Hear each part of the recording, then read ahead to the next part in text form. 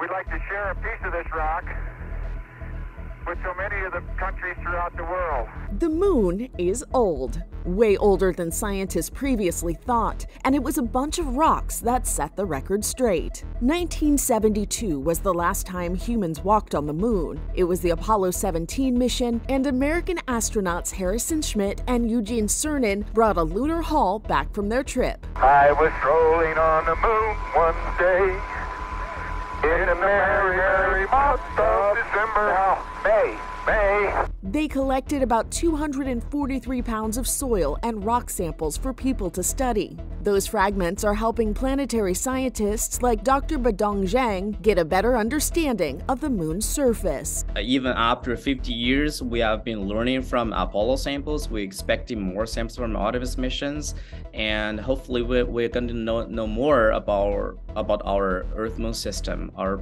about our home, about the solar system.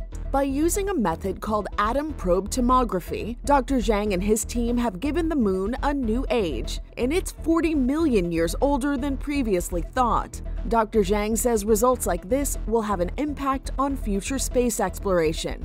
So I think for me, it's very inspirational for future missions, for future studies, maybe for some younger generations. For Inside Edition Digital, I'm TC Newman.